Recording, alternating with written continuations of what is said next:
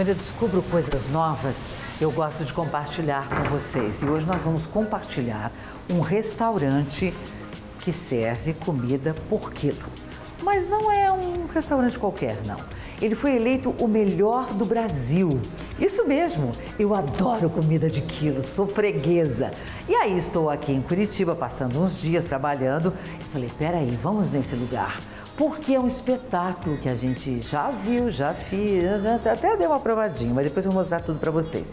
O proprietário, ele nem no Brasil está. Depois eu vou dizer para você o que é que ele foi fazer e onde ele está. Por que, que eu fico entusiasmada com essas coisas? Porque eu me orgulho muito da minha terra, do meu Brasil. E quando nós temos é, empresários, pessoas que se, se dedicam, que sonham e que realizam, como é o caso do Alessandro, a gente precisa contar essa história para você e compartilhar. Fica aí que tem coisa muito boa para a gente fazer junto, tá? E este é o restaurante Curitiba. Você vai dizer assim, Curitiba escrito assim? É, eu estou na capital do Paraná, Curitiba, Curitiba, mas é escrito diferente aqui por quê? Tupi-Guarani, isso mesmo. Curitiba quer dizer terra dos pinheirais, terra do pinhão, é do Tupi-Guarani. E aí o proprietário, o Alessandro, Pensou em homenagear os nossos pinheirais, o nosso pinhão maravilhoso? E este é o nome do restaurante. Por que, que eu estou aqui? Repito, porque ele foi eleito o melhor do Brasil no quilo. E porque aqui se faz o melhor baião de dois que a gente vai aprender agora.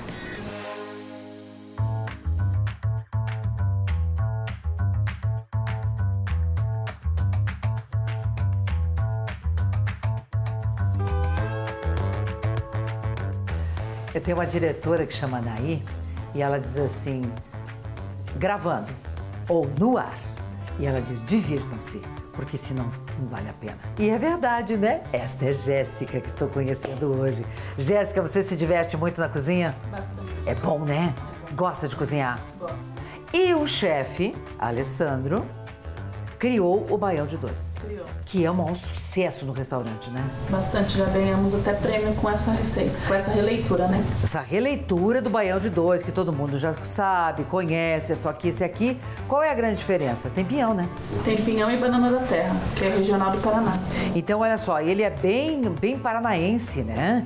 E, e, e colocou aqui, então, coisas, o bacon, o pinhão, nós temos o queijo, a banana, a, aqui tá fritinha, né, a banana da terra é, a cebola, o que, a carne seca tá aqui, manteiga. Bora fazer? Vamos. Vamos. E eu penso assim, é, que é um, eu não, nunca vi fazer esse aqui, mas eu fico imaginando que é um prato para a gente fazer também para bastante gente, né? Sim. Quando a família se reúne, então, Bastante. começa por onde? Eu te ajudo. Vamos começar fritando o bacon e a calabresa. Então toma, eu vou te alcançando aqui e você vai lá, vai dizendo o que você precisa. Aqui já eu vou tirando de cena a calabresa e o bacon. Isso. Um em cada tigelinha. É, pra acelerar o, a fritura, né? Uhum. Um. Isso, e você já deixa. Bom, é, eu estava conversando, o Alexandre é o nosso maître aqui, né? O nosso chefe. E ele falava assim que são 250, 280 refeições por dia, né? É muita comida, gente, fazer isso tudo aqui. E você faz tudo aqui. Tudo. Quantas pessoas te ajudam aqui na cozinha? Nós somos em três. Daí tem o Bernardo, faz a salada. O Flávio, que é do grill. E a Cleia, que ajuda a gente na limpeza e na, na lavagem da louça. E vocês começam a fazer, assim, começam a servir meio-dia, 11 e meia, 11 15 abre. 11 e 15 abre o restaurante. Começam a trabalhar que horas? Eu chego em torno de 6 e meia, 6 e 40. Aí, sabe, gente, quando a gente senta à mesa, se serve no buffet, aquela comida deliciosa, né? Tudo tão arrumado, tão bonito, você não tem ideia quantas horas aquelas pessoas passaram ali. Eu tô lá no hotel, sabe, Jéssica? E aí a pessoa que vem repor o suco de, de- de- no café da manhã e tal, eu, eu sempre fico perguntando, porque eu adoro ouvir essas histórias. E eu perguntei assim pra, ó, pra ela, que horas você chega aqui? Ela fala assim, às três. Mas a outra falou, ela falou assim, a outra? A outra passa a noite aqui pra picar tudo, pra fazer tudo. Então realmente cozinhar é muito bom, mas dá trabalho, né? Tá. Pronto. Na hora que tiver pronto, você avisa, tá? Tá. Daí eu vou misturando para os sabores incorporar. Tá, então foi bacon com calabresa misturado. Agora, Daí agora eu vou pôr um pouquinho de manteiga ali. e vou pegar o charque. Esse foi tirado, é, foi de salgado e desfiado. Salgado desfiado. Tá. É, charque é o mesmo que carne seca? É, de- carne depende da região do Brasil, né? Como a gente está falando para o Brasil inteiro, então é assim. Aí no norte, nordeste é, um- é um- é carne seca, aqui no sul é charque. É uma das diferenças tantas que tem, né? Os nossos regionalismos maravilhosos, né? Pronto. Nossa, gente, isso vai ficar muito bom. Como já está cozido e desfiado, Já vai para lá. colocar muito tempo na panela. E você cozinha há muitos anos? Você é cozinheira há quantos anos? 20 anos. Muito novinha começou então, sempre cozinhando. 17 anos. Agora a banana da terra, ó Banana da gente, terra. na manteiga. Isso. Aqui ela tá fazendo uma, uma quantidade considerável, porque ela viu o tamanho da equipe, todo mundo morto de fome, né? Já vai todo mundo almoçar também, né? Então já faz uma panelada. Mas eu quero fazer em casa no final de semana, porque aí tem filho, tem a nora, tem a neta, né? Convida mais um amigo ou outro e fica uma comida deliciosa, com certeza, né? que mais agora, Jéssica? Agora a gente vai puxar alho e cebola. Você viu que ela puxa cada um separadamente na manteiga. Se você me perguntar aí em casa agora, ah, mas não dá pra misturar tudo numa vez só? Você quer esculhambar com tudo, misture, né? Que não fica bom, né? É, porque Tem que fazer separado, né? O, o seu tempo de cozimento, É. né? Agora, a- lá está a manteiga, agora Alho. o alho que tu fez um filete dele. Muito bonito, bem filetadinho. Gente, o aroma dessa cozinha tá bom demais. Agora eu vou incorporar a cebola. Tá.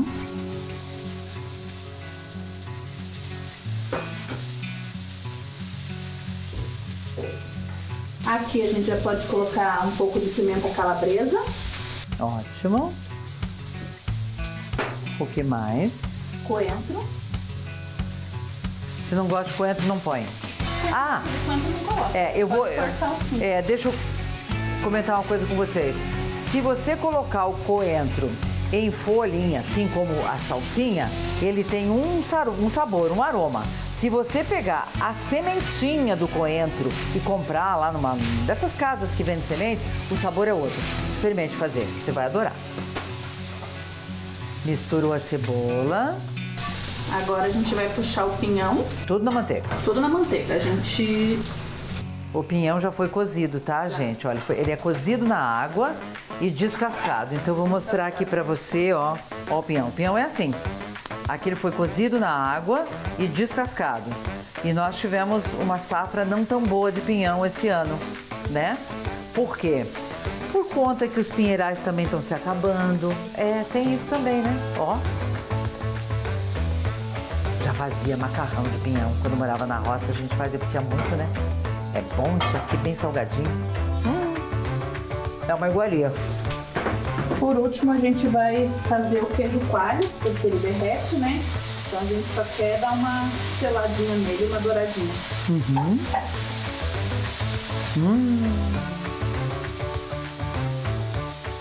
E aí, tá pronto? Por último, o arroz.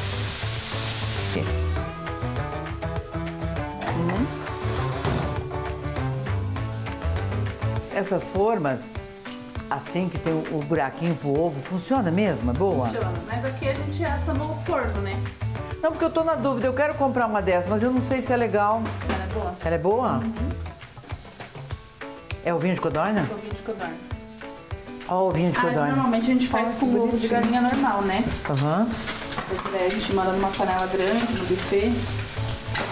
E aí você, esse, esse ovo vai pro forno?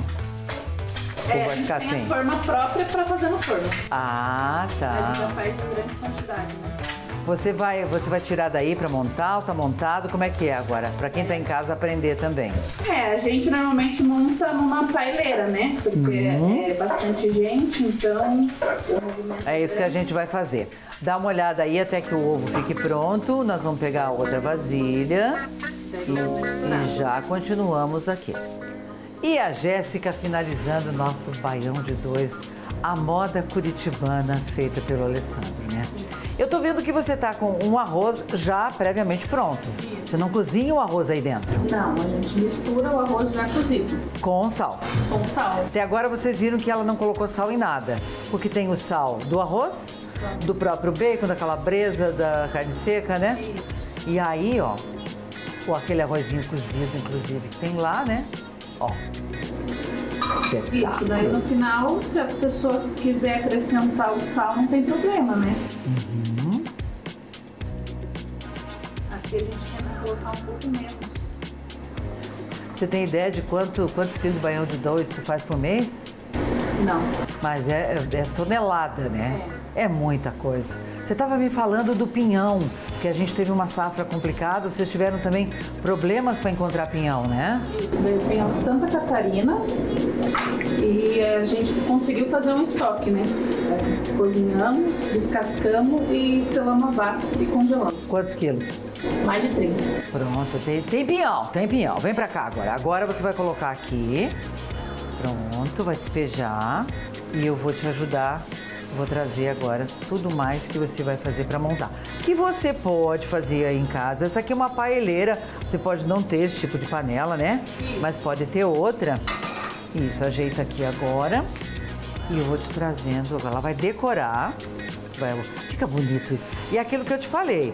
Você faz isso é, é, numa panela só, para bastante gente.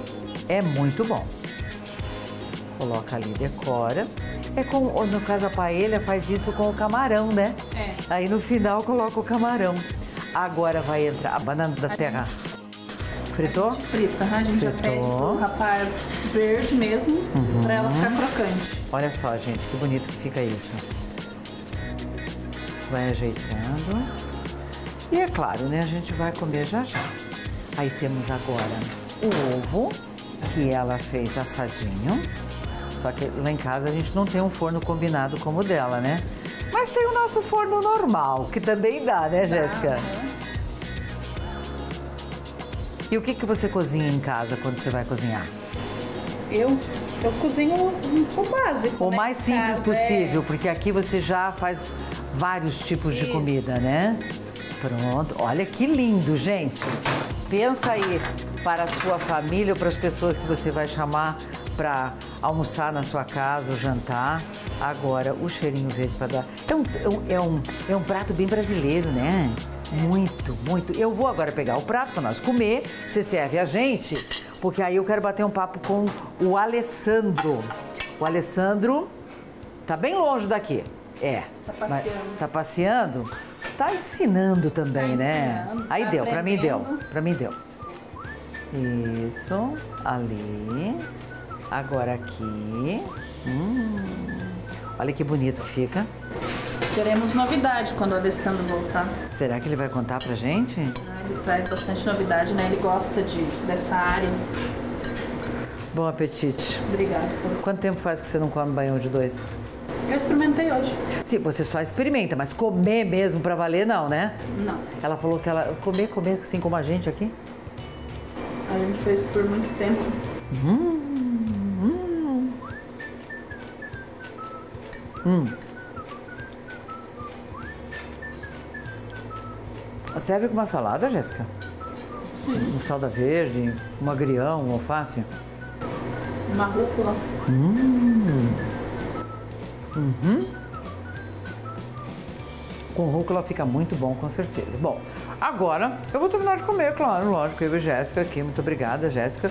Que agora eu vou conversar com o Alessandro pra gente saber onde é que ele tá, o que, que ele tá fazendo e quando é que ele volta com as novidades.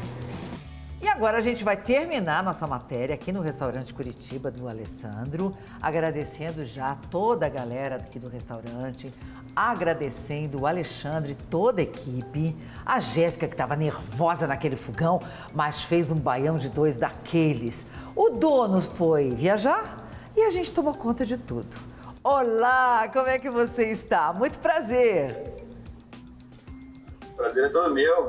Espero que, que vocês tenham gostado do prato aí. É um prazer recebê-los. A gente chega, sabia que você estava viajando e aí eu falei assim, bom, não quero nem saber onde é que está o patrão. Depois ele me conta. Aí só me disseram que você está nos Estados Unidos, né?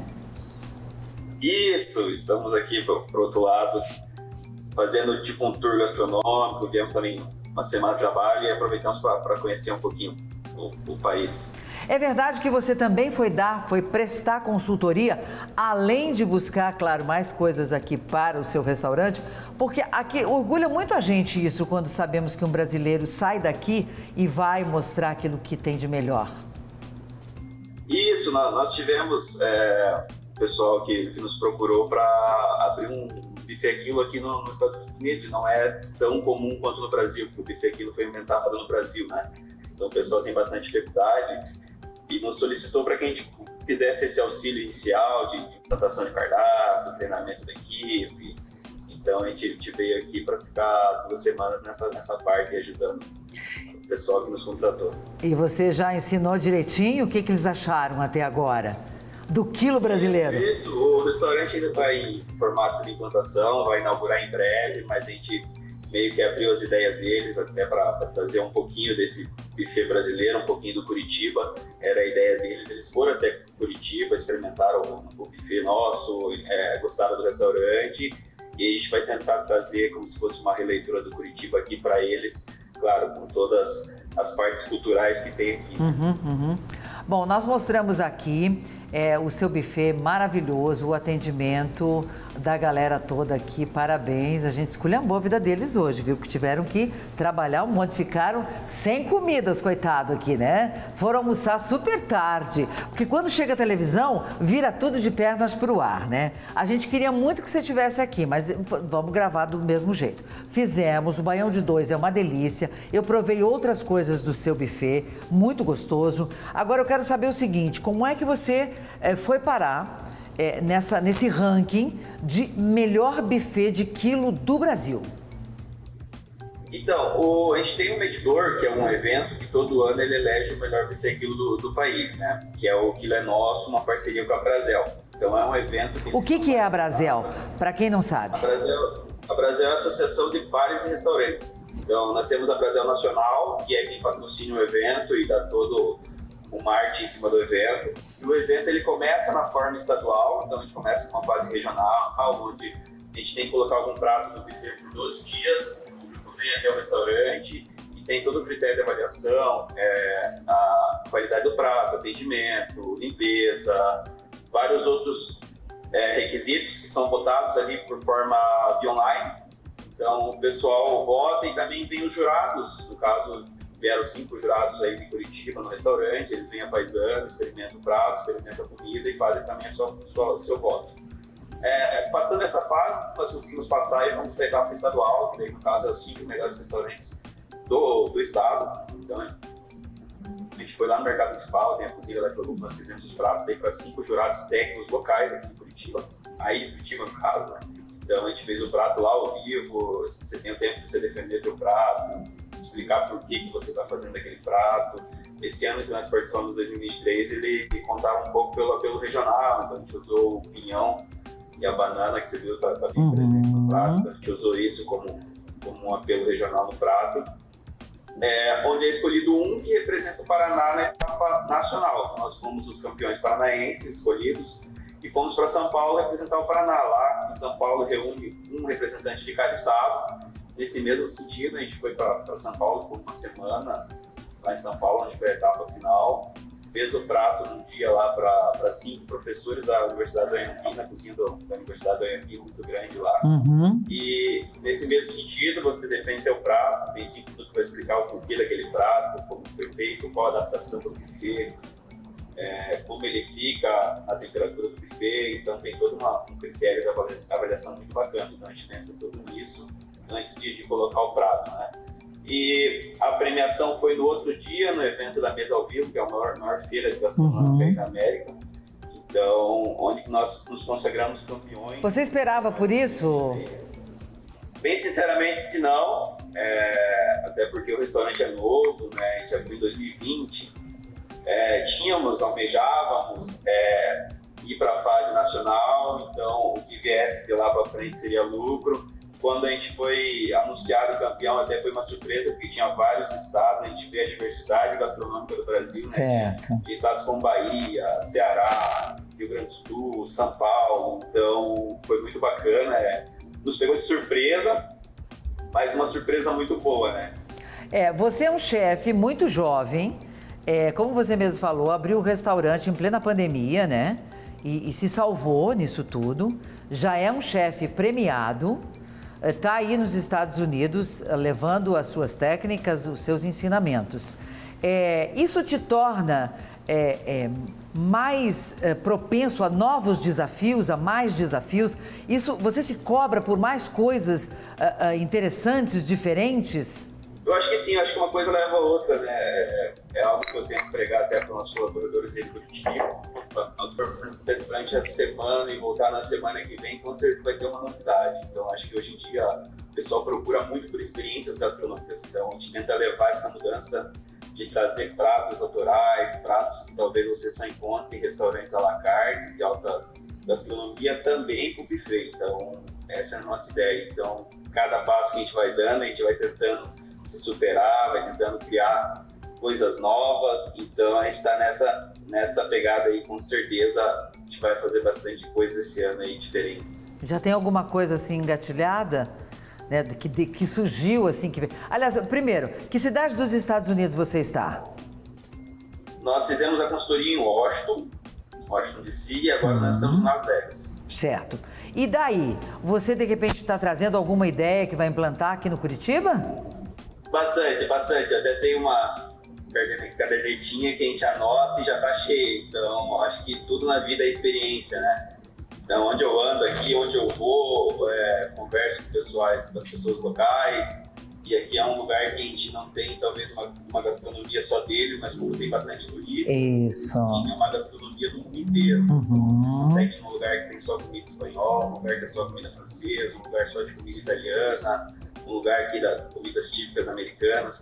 Então a gente está trazendo bastante coisa na bagagem para a gente conseguir usar no Curitiba. E quem sabe esse ano é abrir mais uma filial. Ah, você pretende abrir uma filial?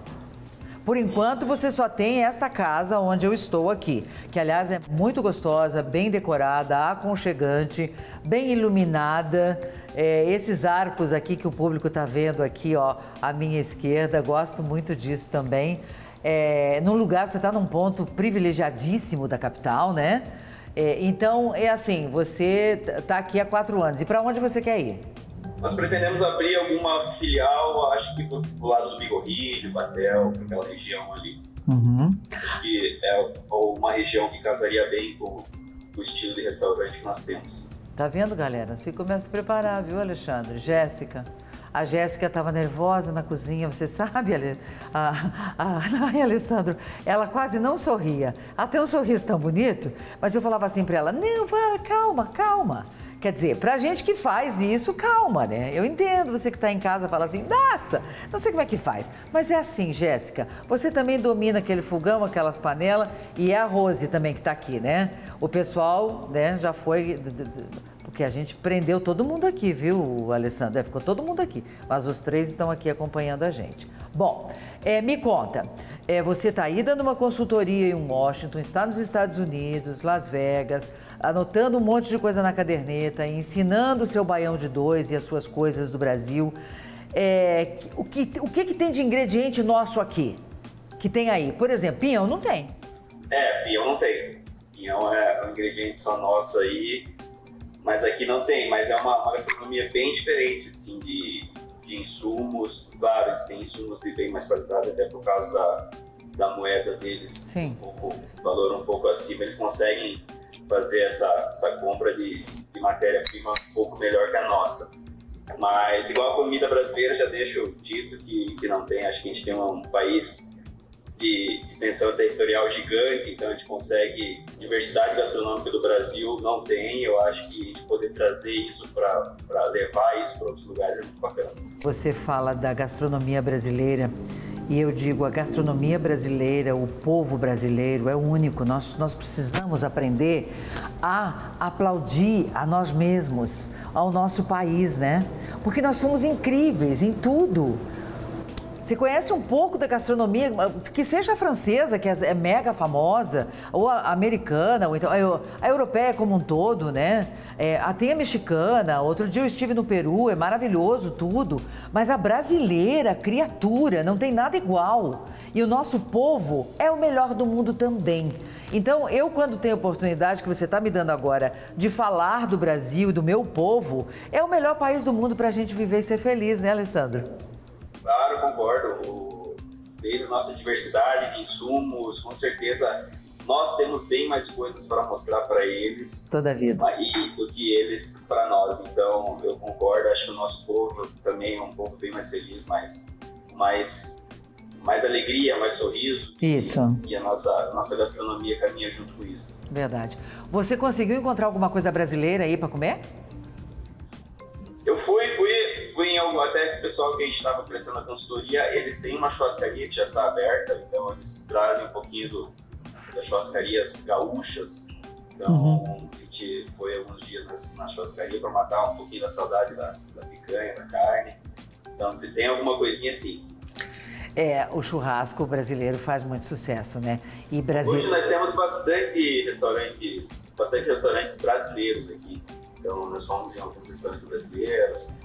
É, até a própria feijoada a gente conseguiu achar. Então a gente tem, tem quem der uma procurada consegue achar bastante, bastante coisas para matar a saudade do Brasil. E você provou essa feijoada? Tava boa realmente? Provei, tava boa, muito boa. O pessoal da, que faz, é, os colaboradores num restaurante desse, são brasileiros, são americanos que foram ensinados? Como é que é? Então, são todos brasileiros, desde o atendente, claro, todos falam inglês, mas é, todos brasileiros, você conversa um pouquinho, já uhum. começa Sei. a falar português, já começa também a, a, perguntar a história de cada um, aquelas curiosidades que, que, que, todo dono de restaurante tem, então acho que é uma, uma trocação de ideia muito bacana. Tá certo. Alessandro Piccoli, sucesso para você.